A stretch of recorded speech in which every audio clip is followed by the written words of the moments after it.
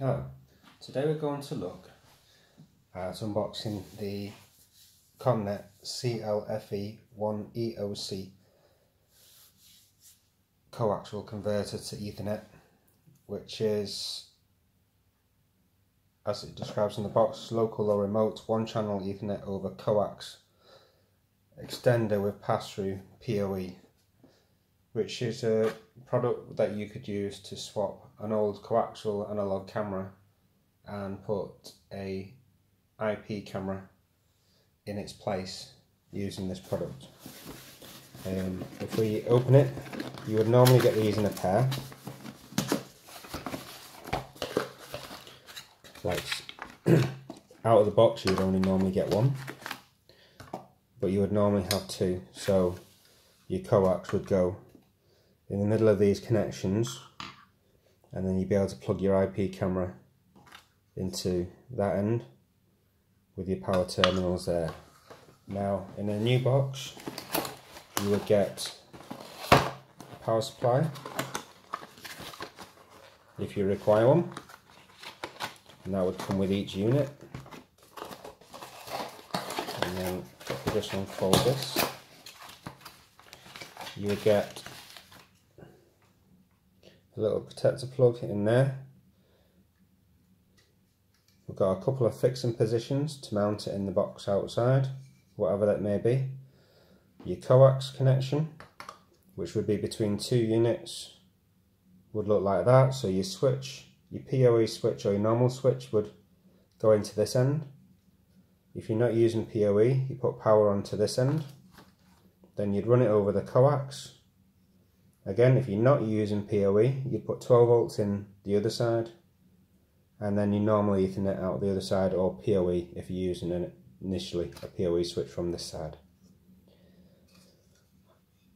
Dip switches that are in here will just show which speed that you're actually connecting at and which one is the master. I tend to find if you've got a joint anywhere in the coax, you probably struggle to get it to work at 100. If you haven't, then you be, should be fine using it at 10 or 100. You do get an instruction manual there that gives you basic instructions and these LEDs will be different colours depending on what speed you've actually managed to configure the network speed to be at. There's buttons on the side here that you can use to set the unit to be master or to send it remote. So the button when you press it in will stay in. So this end now is the remote. So you'd put this at the camera end and this one with a button out would be your local.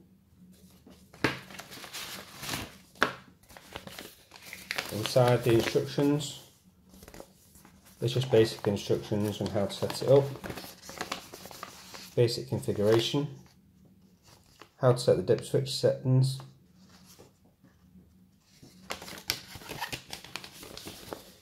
And basically using your PoE as pass-through for your smaller cameras that probably won't power enough possibly depending on the make of the camera a PTZ if you're going to do PoE.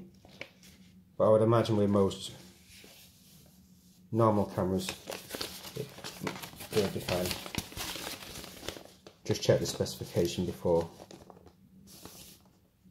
And that's it really, there's not much really more to show with these. It's just the speed, whether it's one or two pair, remote or local.